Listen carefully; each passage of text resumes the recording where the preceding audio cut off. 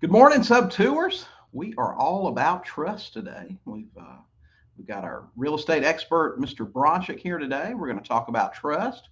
If you guys have any questions, now is the time. So we'll be back in 45 seconds.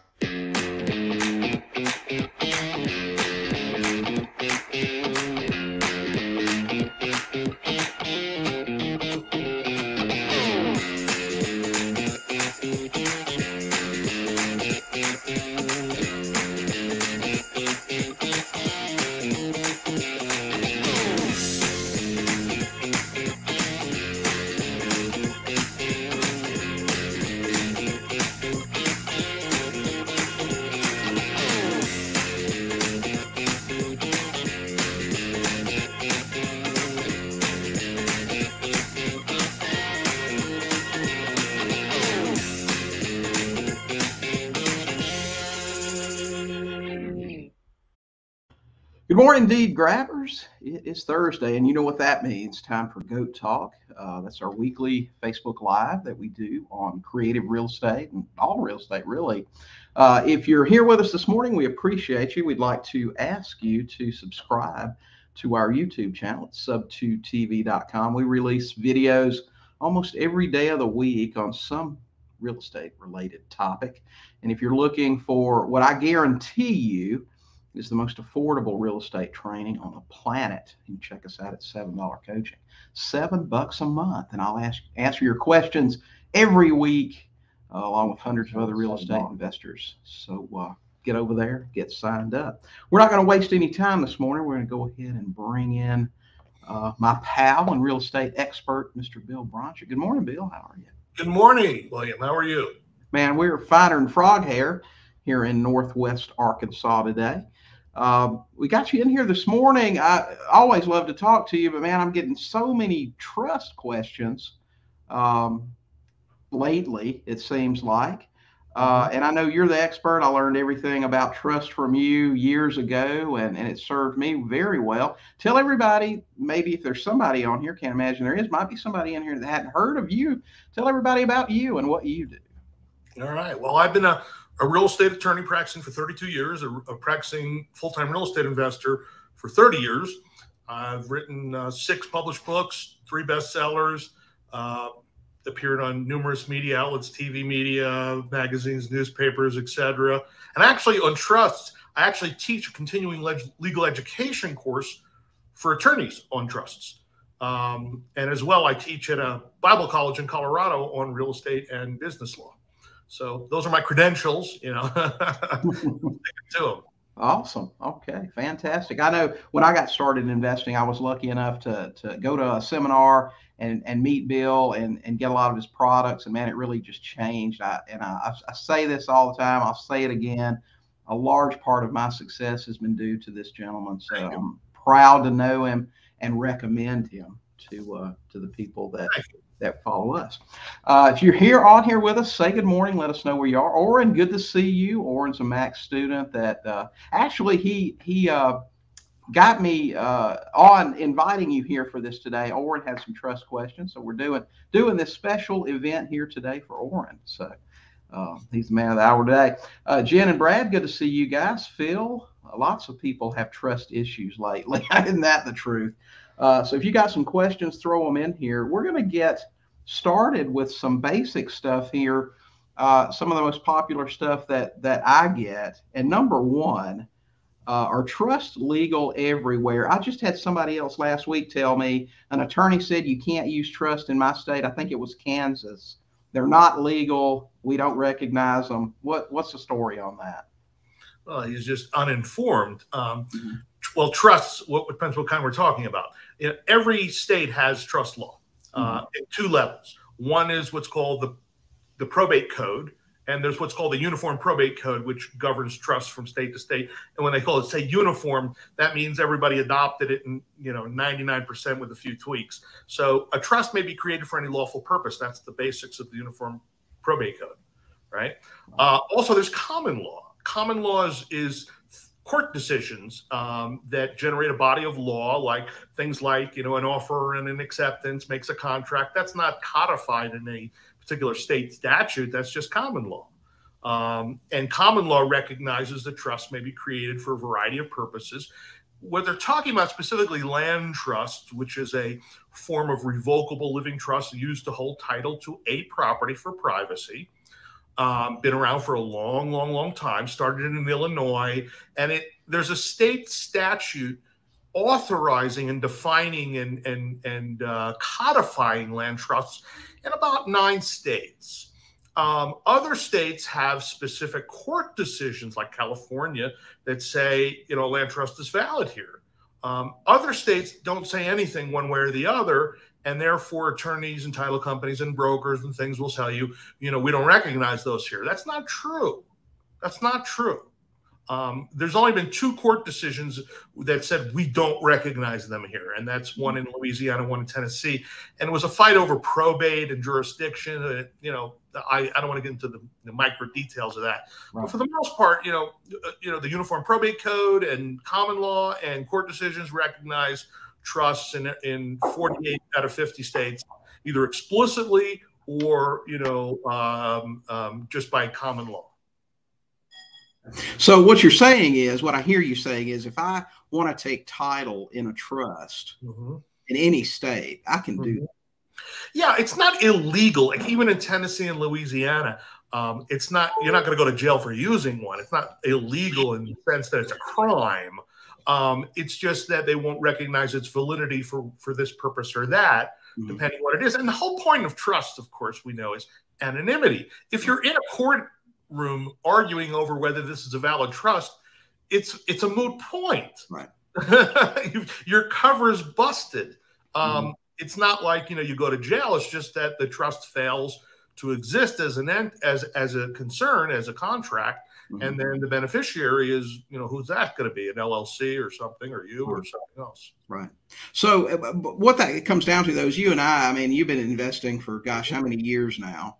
30. I mean, 30. I mean, I've, I've only been doing it for 23, but I know for a fact, my experience on it is you will get sued at some point in real estate investing, whether it's a tenant or whoever, but that happens very rarely in, in the big yeah. picture, usually if you're halfway ethical anyway. Right. So, so most of the time it's kind of like cheating on your taxes. You can cheat on your taxes all you want. It doesn't matter unless you get audited. Right, right. Well, the difference between cheating and being creative. You know, you know, you know what I'm saying. well, the point of the point of the land trust is is by being anonymous, you mm. you you weed out ninety percent of litigation because most right. of them are just amateurs or frivolous stuff. And if a tenant looks up the owner of the land at the county records and mm. sees a trust at a PO box as an address, and doesn't know where to go, and right. that trust is not named after you, and the trustee is not you, someone with different mm-hmm. last name, it's very hard for them to to poke around. If they go to an attorney, a one eight hundred, you know, slime bag attorney, um, you know, they get a lot, a lot of calls and you know, from their advertisements. And they have a low level attorney screening hundreds of them every week. And you've got about 45 seconds to convince that attorney that there's something here and you're not a kook. Um, and if they see complex, like we don't know who the owner is and it's a trust, it's anonymous, then that law firm is likely to say, we're not taking the case on a free sort of contingency basis. You got to pay by the hour. And most people can't afford that. And, right. and that's the game. That's the game we're playing. Yeah. Okay. So, and, and, you know, just on that point, uh, I said this to somebody else the other day, but it, it, it's valid here. You know, they say that one of the reasons that so many attorneys, oh, we don't do that here, they just don't understand it. And I, and I never, I didn't learn that lesson. I mean, completely until my divorce. Right. When, when I'm sitting at this conference table 20 feet long and all the partners are coming in to listen to my deposition because they don't understand where all the real estate is or how the trusts work or anything. So I got right. to teach real estate law to, to some pretty expensive attorneys right. that day. Yeah, um, I've done that before. I mean, I've had like, for example, contracts for deed, mm-hmm. where you sell a property on a contract, you keep title in the seller's name. Um, people do in all 50 states, but only about half of them recognize it by statute. So I've had the same thing. I, have been doing in Colorado for since 1997. I've probably mm-hmm. closed 1,500 of them, and 90% of attorneys in Colorado will tell you we don't do contracts for deed in Colorado. They're not legal here. and I've done like 1,500 of them. You know, what do you mean right. they're not legal here? But there's been court decisions you know, litigating about them, saying and recognizing them. but mm-hmm. there's no state statute that says this is what a contract for deed is and this is how you get somebody out.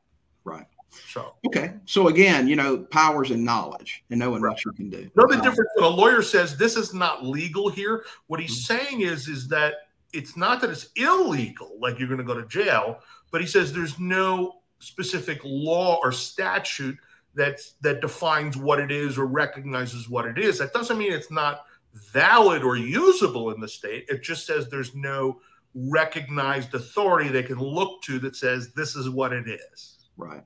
So, so what everybody needs to do is go out and find an attorney. Like I was lucky enough to find when I got started, uh, and I sat down with him and told him all the things I wanted to do. He was this old guy. I'm, I'm, talking one of these old guys with the mustache that's got the nicotine stains in it, you know.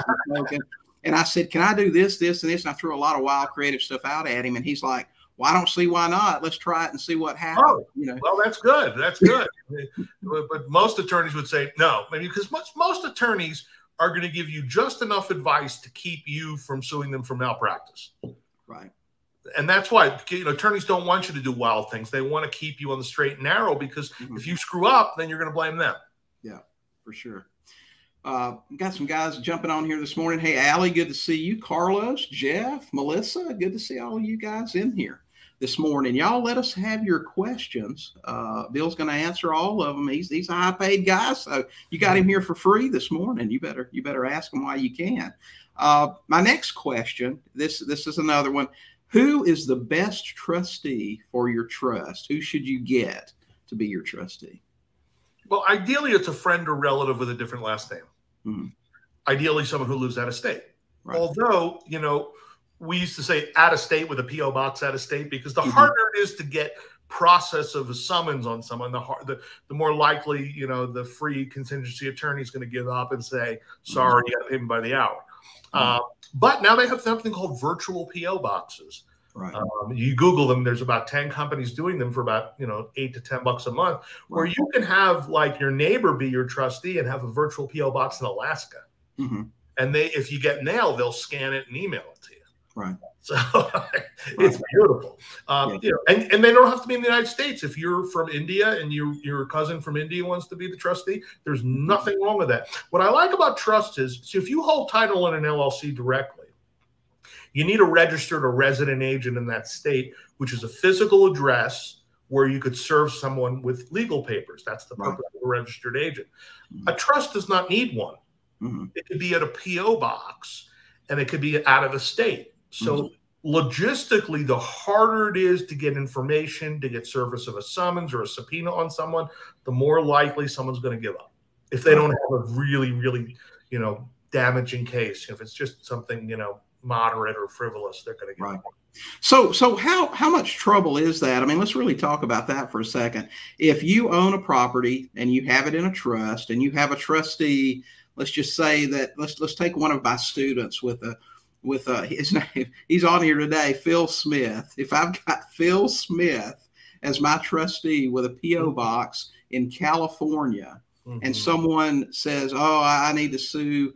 Uh, this this prop whatever they're they go they go to you as an attorney and you look it up and and it's in a trust Phil Smith's the trustee he's has a PO box in California what have you got to do to mm-hmm. find him and get him and get something done it's a lot of trouble isn't it well the first thing I'd probably do is send a letter mm-hmm. the PO box and just say, hey, we got a potential claim here. Contact whoever's in charge and get the insurance involved so I can make a claim.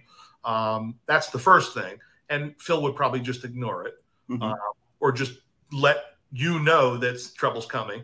Right. Uh, if I actually wanted to start a lawsuit, uh, I'd have to file a summons and complaint and then get a process server in California to find where this person lives because how you going to serve someone at a PO box? Right. Now, if I can't get service on them, I can't find them, then I can ask the court for permission to serve by mail, by PO box, mm-hmm. or by publication, publishing a notice in the county newspaper where the trustee lives. The, the court would probably require both. Mm-hmm. You know, a mailing address, right? Um, or you know, you maybe you tell your trustee right back, uh, "Sorry, I can't reveal who the beneficiaries are, but I'll pass on any information that you want." mm-hmm. just just so they don't say, "Well, I tried to mail and, and, they didn't respond, so I want to publish in the paper," which you wouldn't get notice of, and right. that's bad because they, you know, you can get a default judgment right. against the trust. Mm-hmm. So all of that would have to take place, and and what we're really saying here is that most uh, uh, contingency fee lawyers are going to go. I'm not going to all that trouble. if you got five grand to retain me, yeah, I'll do yeah, something. Exactly. That, yeah. And it, it's a game we're playing right. here. It's like football, right? We're being we're on defense, and mm-hmm. the other guy needs a quarterback. So right. if we take out the quarterback mm-hmm. and he can't play, you know. Right. Play a little dirty, you know, in, in yeah. football where you clip him in the back of the knee and take him mm-hmm. out on an injury, you know. Okay. figuratively speaking. right. so back, they forfeit the game. Right. So, worst case scenario, I don't have anybody. Uh, can I be my own trustee? You could, but that defeats the purpose of it. Doesn't it? If you, you just put your name out there, then everybody's sort of the, the, whole idea is to confuse. So a mm-hmm. tenant dealing with you and you're telling them you're the property manager, not the owner. And they mm-hmm. look up the owner in the tax records and it says XYZ Trust, P.O. Box care of Phil Smith, P.O. Box, California. Oh, William's mm-hmm. not the owner; it's some trust. Mm-hmm. So where do I go? Mm-hmm. Gotcha. Okay. Uh, I've got a question here. Jack said, I've been using trust for 20 years. We still have a huge problem with title companies not allowing us to close in a trust. Yeah. We now use yeah. revocable living trust. That, that's that's the practical issue. Mm-hmm. In some states, well, even in my state of Colorado, where there's no statute uh, mm-hmm. or court cases, there's one subtle court case that mentions land trusts. Um, but a lot of title companies are saying their underwriters don't like land trusts and they won't insure the buyer as a land trust. Right. Um, so, um, and uh, states like uh, Pennsylvania, there's a little issue with transferring the trust. So, what we do is I have an alternative form of land trust that looks and smells more like a living trust. Mm-hmm. And I use that and I give it to them. Right. And they go, okay, fine, we'll insure it. And then after the closing, I do an amendment to the trust, turning it back into what's more mm-hmm. trust. Okay. And that's not recorded anywhere. So, you know, a, a, trust is a contract. It's not like an LLC where you have to file anything anywhere. Right. Okay. All right. That's, so that's the, sometimes it's, you know, obviously when you're buying or selling, um, you know, one of the important tips is uh, you pick the title company. When you're selling, it's customary the seller picks it. Right. When you're buying, you could put in the contract, we got to use my title company and right. be willing to pay for the closing fee for that privilege. That way, you don't mm-hmm. get an argument and try to educate a new title company every time you're the buyer with a seller's different title company. Right. It's so important to have your people that you can go to and get this yeah. stuff done. Yeah. Uh, because so many will say no. Probably sure. eight out of 10 title companies in my state won't do it. But mm-hmm. that doesn't matter. I have two or three that will. So I insist on using. Okay. Okay. Uh, let's see. Question Is it okay to buy in seller um, financing with your name and then deed over to a trust? To buy and with seller financing? I'm not sure what uh, in seller FI, I'm not sure what that means. Let us give us a little bit more information on that one so we can answer that accurately. Um, Let's see. Steve says, wondering if it's better to rate either another trust or LLC to act as your trustee so you can sign as the partner of an LLC providing trustee services. Yeah. Um, well, again, the reason for having an individual at a PO box is it makes it logistically difficult to get process of, of a summons on. So let's say you make an LLC your trustee and you take title in XYZ Trust, care of ABC LLC um, um, um, trustee, and here's the address. Okay, that your name's not on the deed. Okay, mm-hmm. but they could look up the LLC with Secretary of State, find the registered agent, and serve the trustee. Now, if you file the LLC through a service or an attorney where your name's not of public record, it's a possible alternative. Mm-hmm. It's a viable alternative. Right.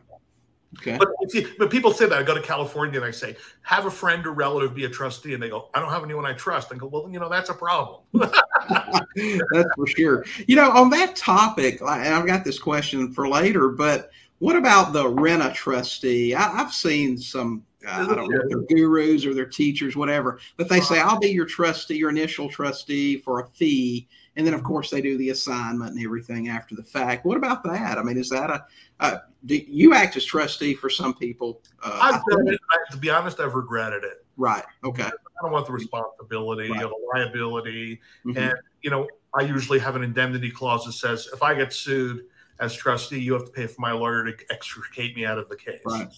Because um, I really don't want to do it um, because they mail forward and I got to re- be responsible right. for mail forwarding. Right. Mm-hmm. Um, so um, there are services that do it, but you know, if you go to a bank and go to a trust company, they're going to charge you like four hundred dollars a year per trust. That's right. crazy. Yeah, that's crazy. Uh, there are individual companies, like you said, that do it for maybe a hundred or two a year. Mm-hmm. Um, that's if you have ten properties, that's pretty pricey. Yeah, that's for sure. So your ultimately your recommendation. Well, first of all, if you don't have anyone you trust to be trustee for ten minutes, you got some issues. But right. otherwise, it, it's yeah. For ten minutes, that means you put the deed with a trustee on it, and then they resign. Mm-hmm. So they're just on record. Right. But the problem is, is that if someone mails, they're going to mail with that person. Yeah. Unless you control the PO box you set up. Mm-hmm with like a virtual PO box. That that's a possible option. Say mm-hmm. say to your cousin, look, be trustee on record at this PO box that I I'll control virtually, mm-hmm. and mm-hmm. and then sign a resignation affidavit five minutes after I record the deed. And then if they mail something, they'll mail it to that PO box, and then they'll forward to me, and I'll deal with it. I mean, reality is, I, I tell people you know who set up trust like clients and they have a friend or relative who's a trustee they mm-hmm. have no liability they have no responsibility. They're not going to manage, collect rents, make decisions. The only thing they're going to have to do is sign a closing package when they go to sell. Right. That's it. Yep. So there's not much to it. Yeah. There's not much to it. In terms of trust, what can the trustee really do without you? Yeah. I and, mean, and most, most of the time, they don't know what's happening anyway, really. They don't know what's happening. Look, let's say Phil Smith was your trustee in California, William. Mm-hmm and he wanted to sign a quit claim deed to another investor in California to buy your property. Wouldn't right. that investor want to get in the house first? And how would they get in the house without William? Right. So it's very unlikely. I've never mm-hmm. really seen this happen. Yeah. Okay. All right. Let's see. Uh, Facebook user, what are the steps to set up a land trust? Can a title company set it up or get an attorney to do it? Can I do it myself? A title company won't do it, except if you're in Illinois, they do it uh, land, um, Chicago Title in Illinois invented this, by the way. Mm-hmm. Uh, they invented the land trust in the 1950s as a way of being anonymous, and Chicago Title would charge a trustee fee every year. So in Cook County, Illinois, Chicago, about 40% of properties are in land trusts.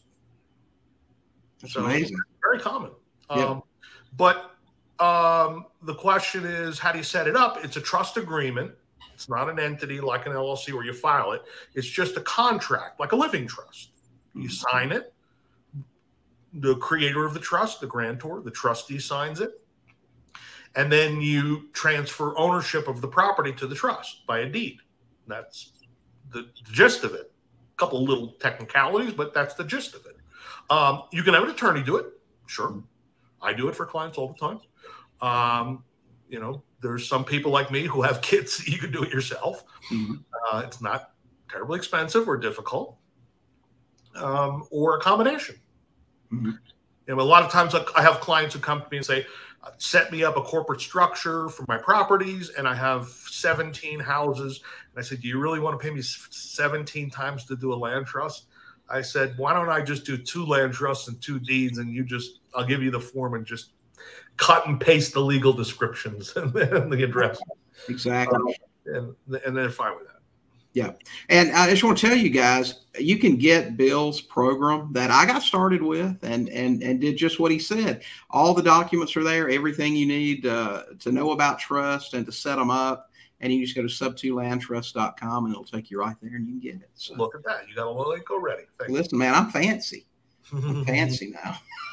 All right. So get over there and get that. I mean, it's a, it's a, it's a great investment. Uh, let's see. Matt asked, it's kind of like people who text people and then put the name of the LLC. It's an easy way to get sued. I always say just a basic name when texting so you can't be tracked. Huh? Oh, you're talking about for the text market? so, uh, wow, we got some some spammers in here. I guess. Let's see. I thought I new adult dating. But I guess not. Yeah. How is that? I've never seen that before. Oh yeah. If you're if you're on YouTube, uh, it happens from time to time. Maybe I can get my producer to take care of these for me because there's some kind of error. I can't seem to block them. So uh, anyway, wow. uh, let's see, Jason, what uh, a qualified trust attorney charge for putting a property in trust, title insurance cost. So, uh, you know, I charge usually about five to seven hundred dollars, depending on the complexity of it. Mm-hmm. There are attorneys I've seen charge as much as twelve to fifteen hundred dollars. In terms of title insurance, I don't really think that's necessary. If you already own the property and you're putting it into a trust, your title policy covered you up to the point of when you bought it. It just doesn't cover that gap from when you bought it up till the time you transferred it. Mm-hmm. I mean, you, you could theoretically go to your title company and say, can you amend the policy and do a rider, you know, covering the gap and they would charge you. But mm-hmm. I think a risk versus cost is silly. Now, if you're buying directly in a trust as a buyer, that's different. Obviously, mm-hmm. it's just whatever title policy would be. Mm-hmm.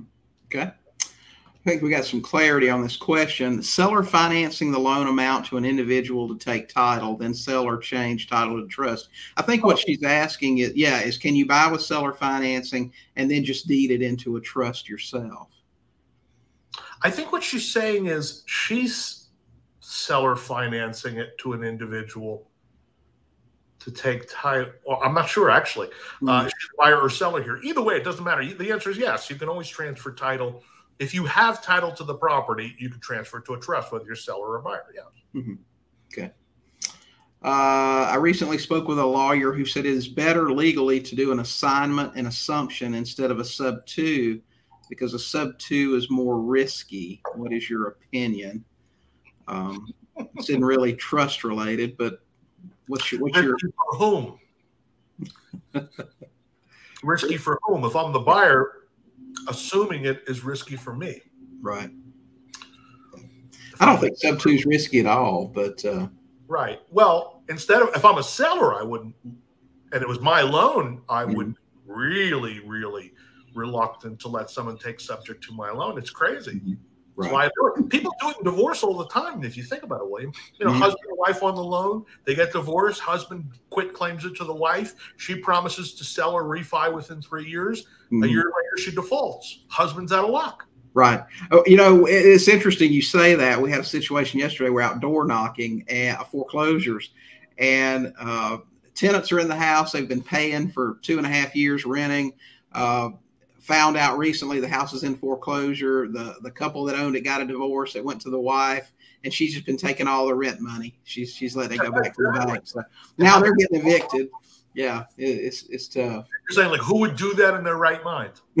Every day of the week. Lawyer, Every day. The lawyer who allowed this for the husband should be sued yeah. for malpractice. Yeah, that's that's for sure.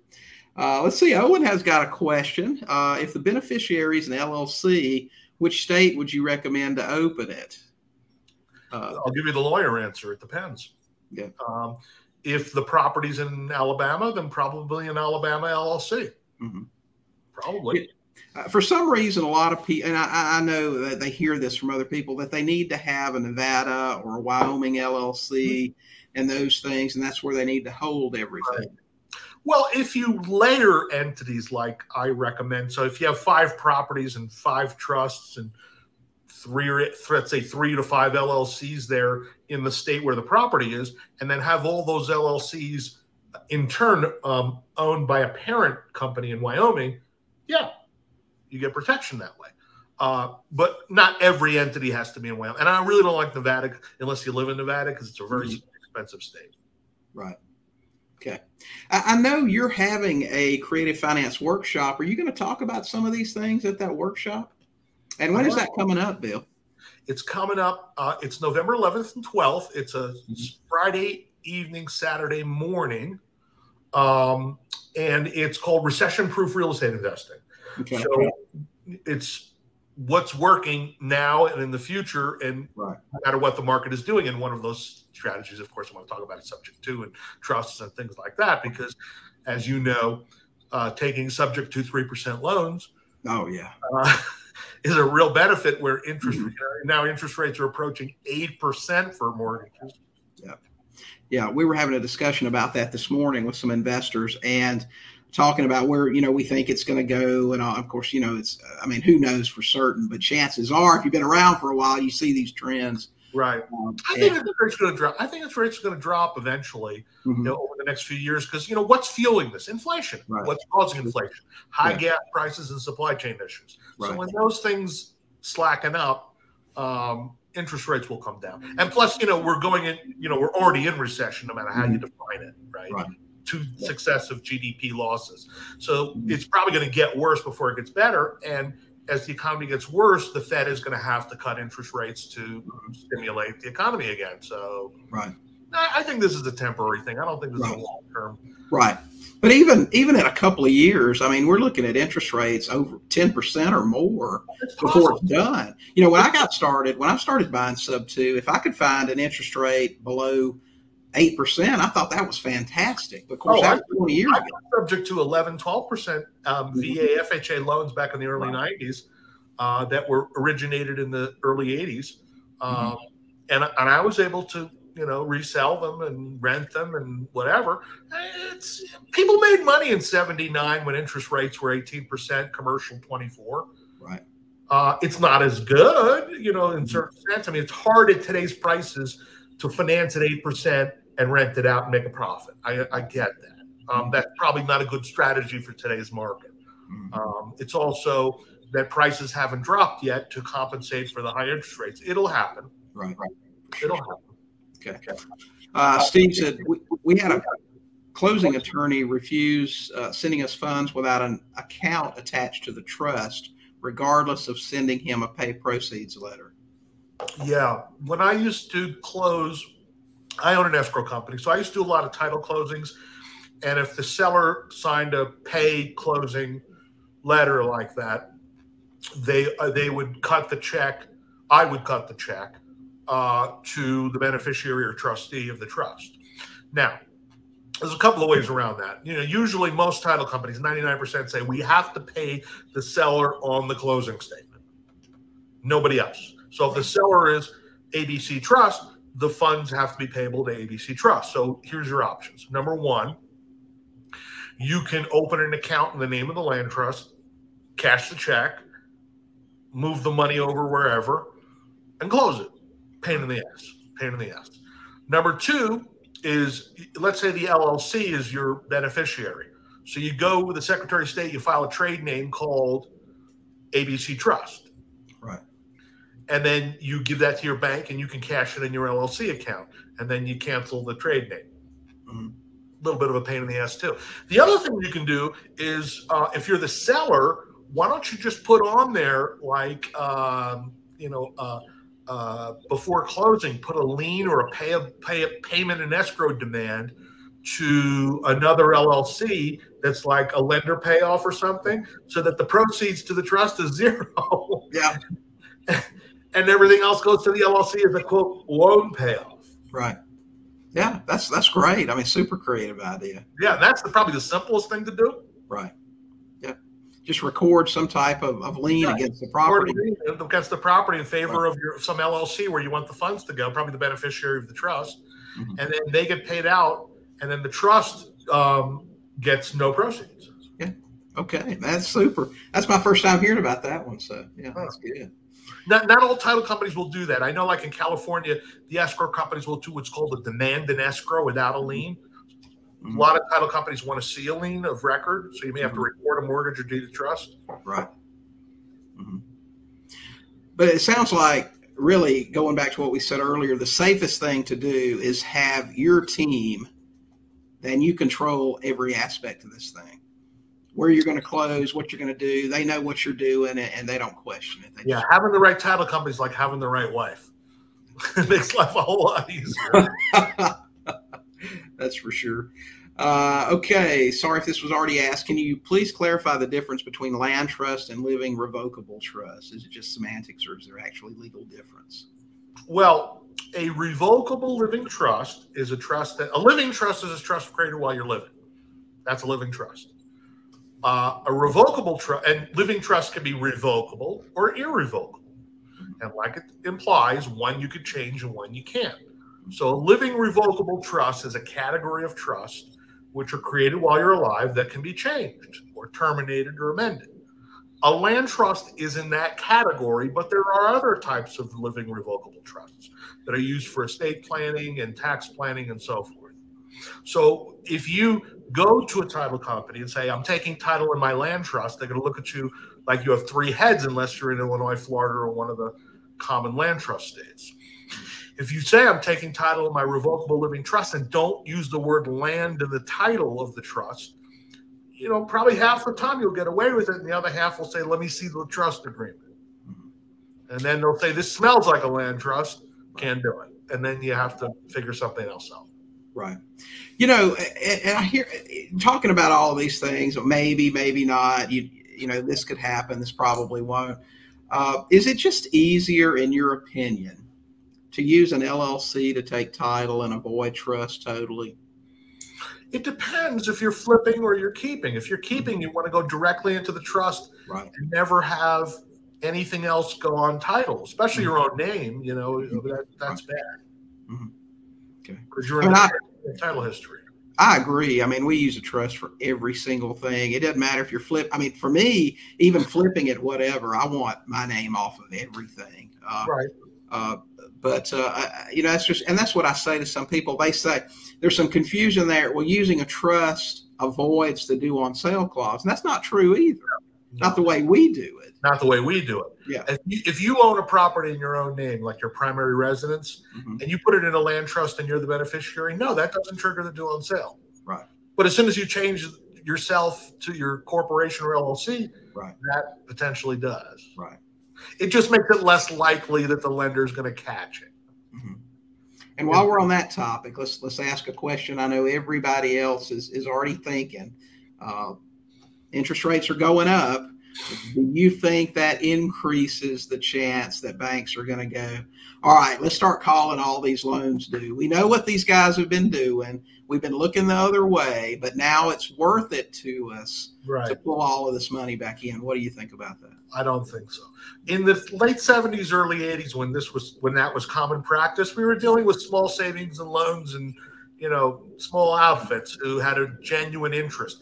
Right. Remember, now we've got servicing companies, third party, who deal with the customer and and and aren't you know so there's a buffer between the lender and you.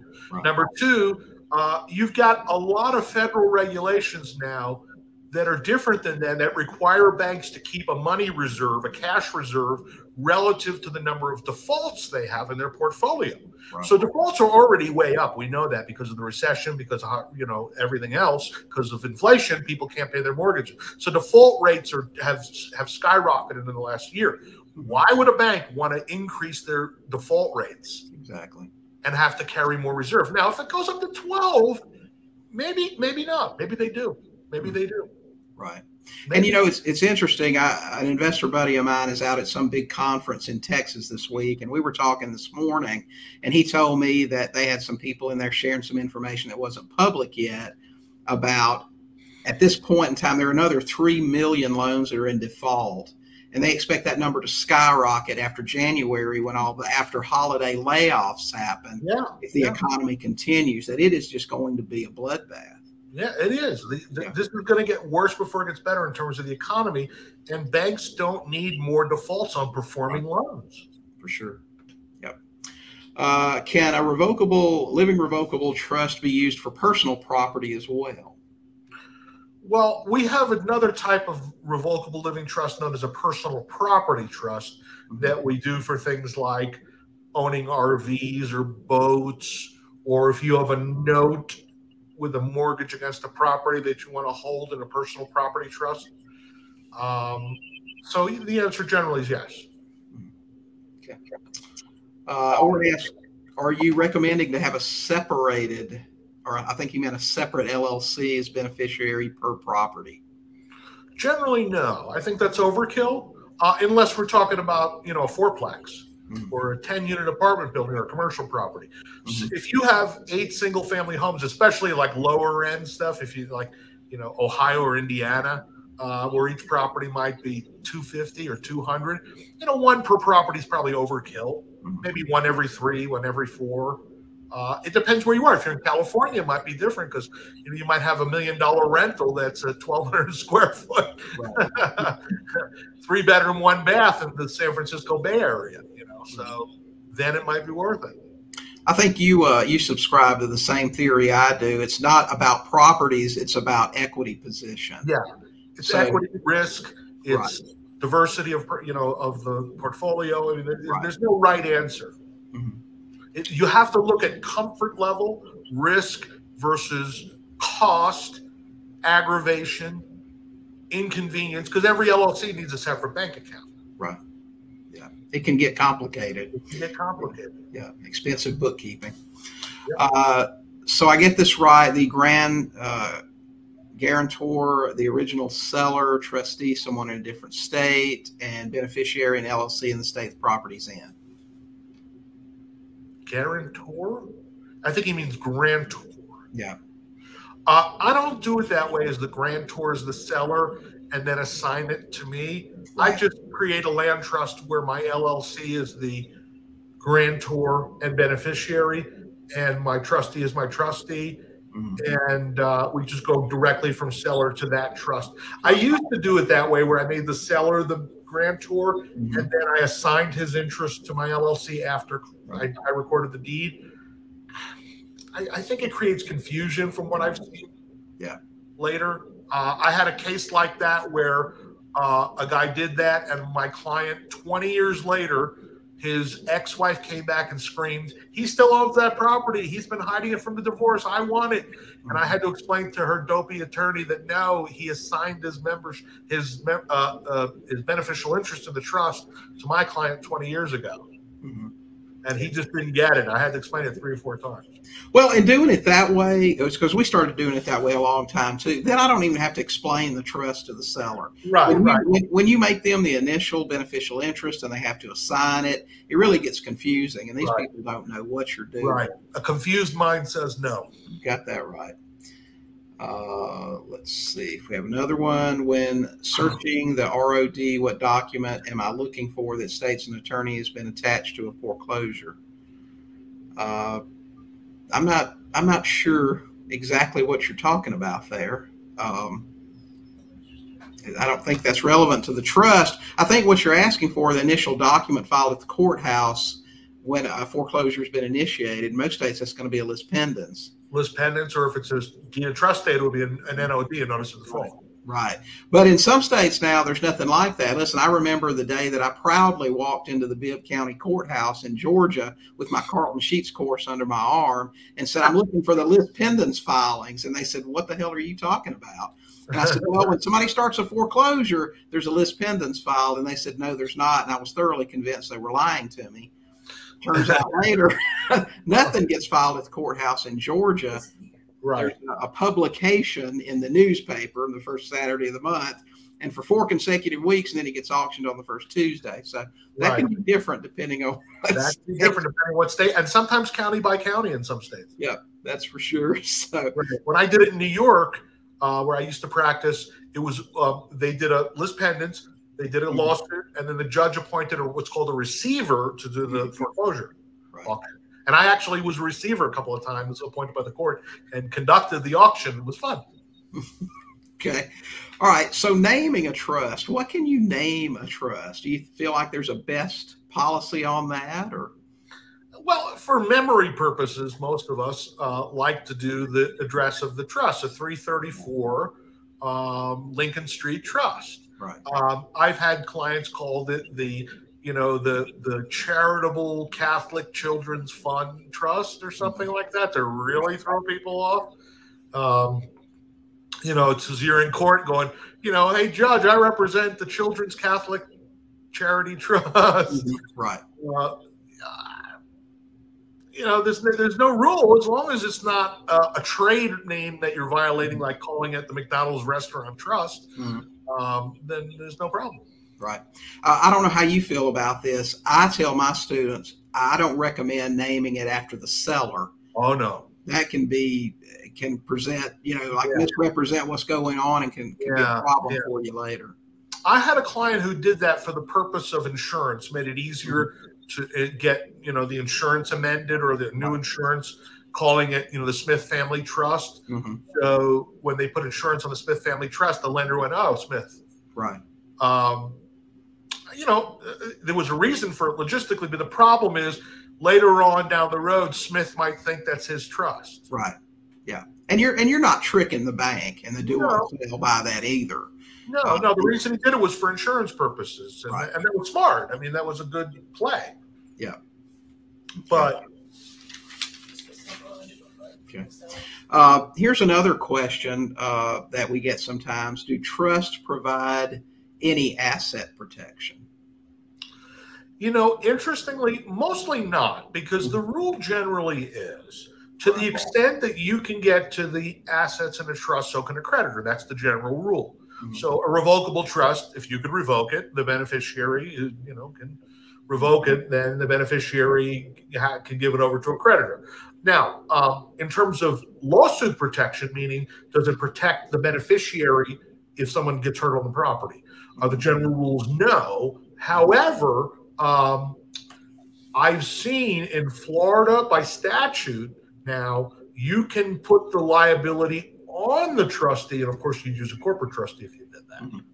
Uh, that's an interesting technique, and I and I had a lawyer I met in Oklahoma who said that the law was set up there that, that way you could do that too, where he he drafted the trust so all liabilities on the trustee, and he used the corporate trustee.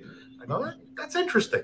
Right. Uh, but you know, the, the trust will protect you from certain types of liabilities, like if there's um, like an HOA lien. Mm-hmm. Uh, if it's in your name, you're responsible personally, not just the lien on the property. Um, a title claim for breach of warranty, uh, an unpaid contractor lien. A trust will protect the, the beneficiary from those types of claims, contractual claims. But negligence claims, people slip and fall, things like that, you're not protected from liability. So that's why you have the second layer being an LLC. Okay. Uh, Corey said that's the way we've done it for years. Smith Family Trust. Well, and, and, you know, for years I heard it taught that way, as, as you know, additional.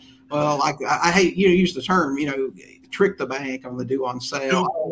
Yeah, and that and that kind of stuff. But I, I don't think they they care about most of the people you're going to be dealing with, or they're going to see that that new insurance paperwork or the you know twelve dollar an hour employees. They don't care. They don't analyze anything, really. Um, Inflation adjusted, fifteen dollar an hour. Yeah, maybe, maybe.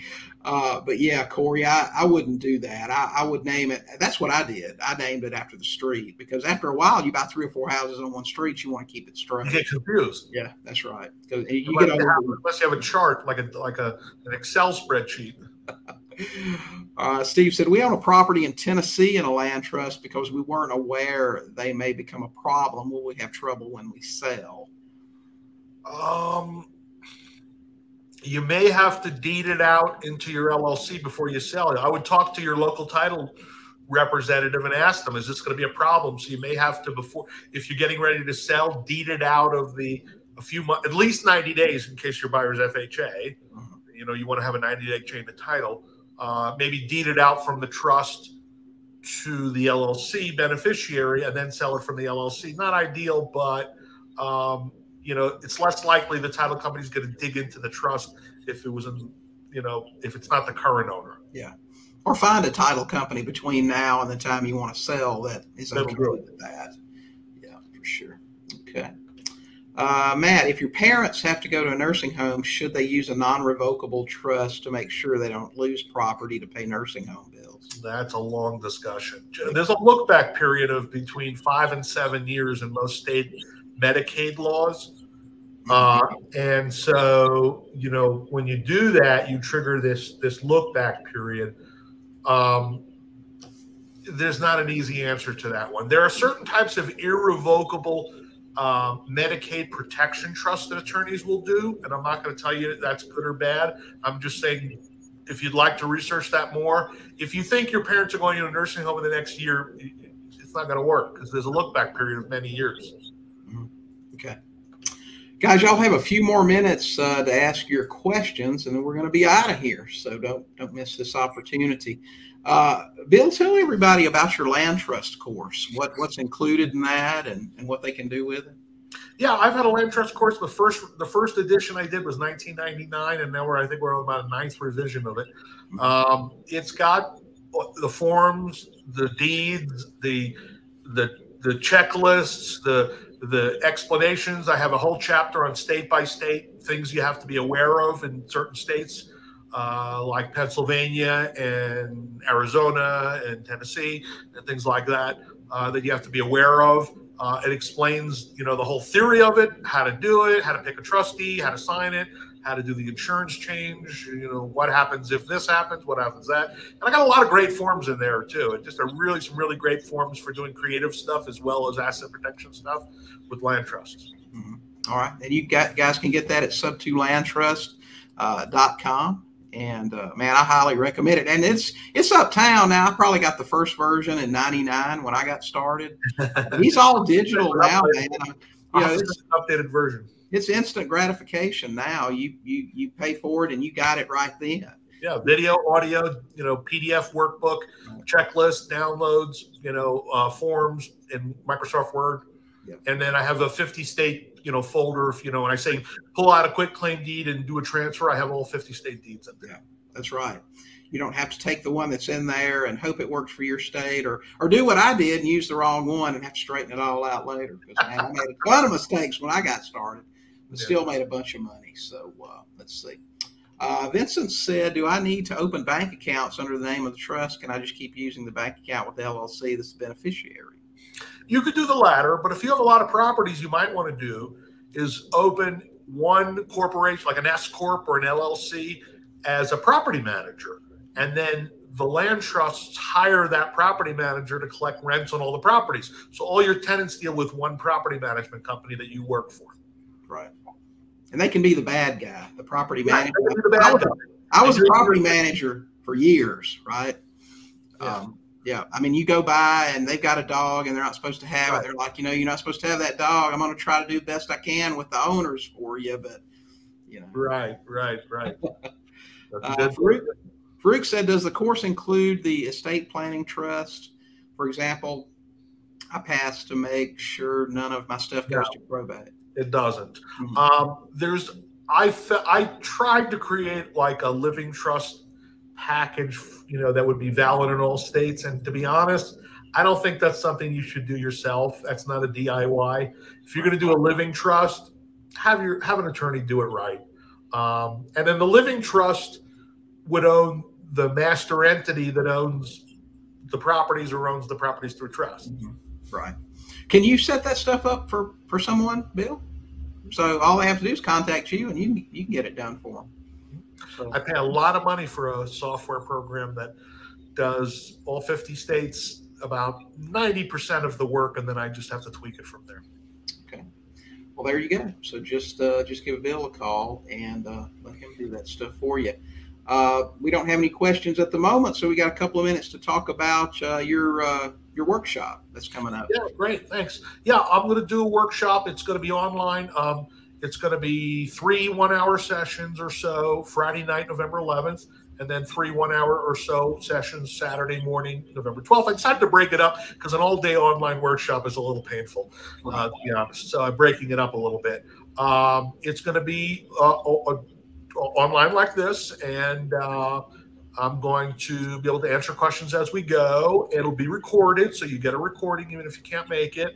It's only $197, which is a steal. And it's called recession proof real estate investing. So it looks at, you know, what are the strategies that are going to work in today's market and then over the next few years. And then, you know, depending on whether the market's up, down, or sideways, what always works, what you should be looking for in the market as a strategy. A lot of it is mindset and strategy, and then there, and then I talk about specific, I, specific techniques that I think are going to work in today's market the way it is, and over the next year or two. Right. Great, great, great economy is going to be big. uh, for the next few years for sure. Oh yeah, subject to three percent loans all day long. Absolutely. Uh, okay, let's see. Uh, question: How much uh, do you charge to set up a land trust? I don't know how much you have. Generally, it's about you know five to six hundred dollars, depending on which state it is. Okay. Or you can spend less than that and get Yeah. his course. It's a do course. them yourself. Do all you want. I mean, it's it's the same forms. My assistant prepares them, and I Right. review them. And You, Vincent, you guys know that I'm not super smart, but I took his course and figured it out. Okay, so I think you guys can do it.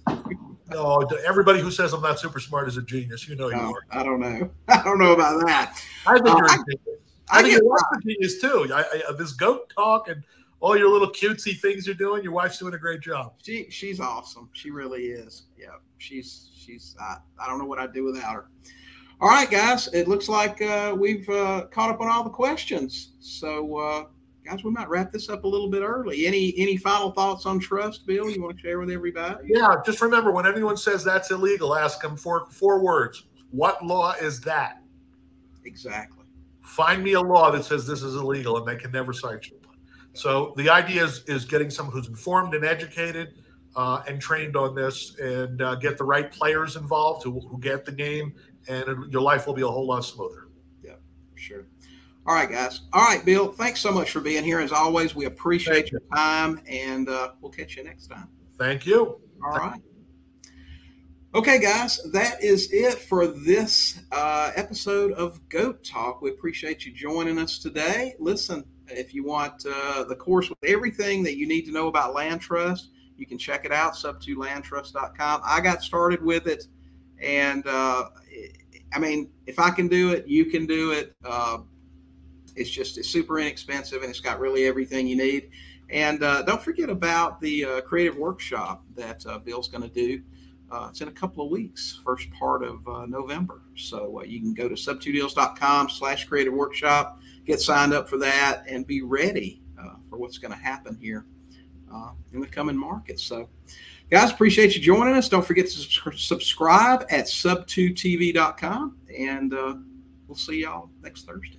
Y'all have a great week. Talk to some sellers, buy some houses.